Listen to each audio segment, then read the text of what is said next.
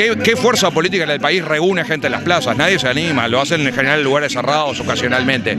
Y además el Frente, a diferencia de todas las demás fuerzas políticas de las oposiciones en este país, es el único que hace actos unitarios. El único, la única fuerza política de este país que reúne a sus cuatro candidatos en un acto común es el Frente Amplio. No lo, no lo pueden hacer otros partidos. Eso demuestra la fortaleza del Frente.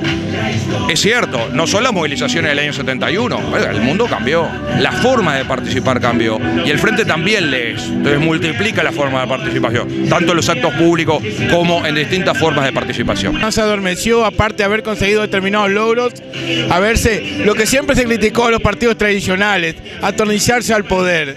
¿Qué mirada tenés respecto a eso? Yo no creo que sea así. Es más, el Frente Amplio en este momento es la única fuerza política del país que propone renovación.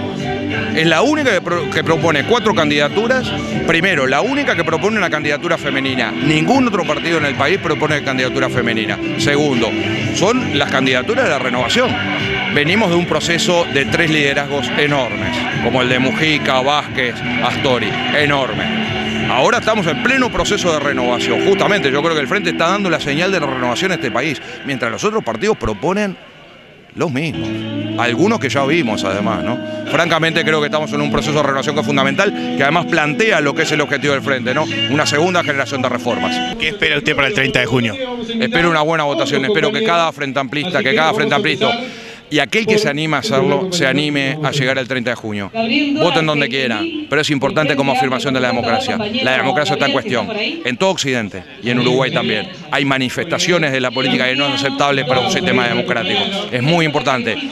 Acá, todas las uruguayas, todos los uruguayos del 30 de junio votemos. Por supuesto, yo quiero que voten al frente, pero no importa. Sea cual sea el partido, me parece que hay que afirmar la democracia el 30 de junio con una buena votación para todos los partidos y que el mejor es el frente.